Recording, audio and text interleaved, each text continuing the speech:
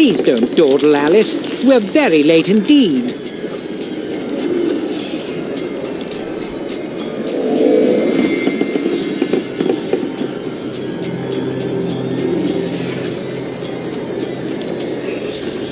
You've gone quite mangy, Cat, but your grin's a comfort.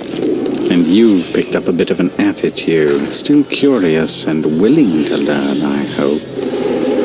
Wonderland's become quite strange. One to find her way? As knowing where you're going is preferable to being lost, ask. Rabbit knows a thing or two, and I myself don't need a weather vane to tell which way the wind blows. Let your need guide your behavior. Suppress your instinct to lead. Pursue.